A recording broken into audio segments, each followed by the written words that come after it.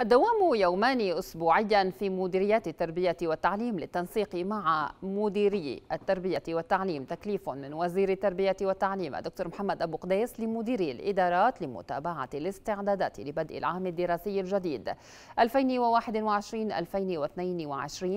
وتنفيذ برنامج تعويض الفاقد التعليمي من خلال الجولات التفقدية للمدارس.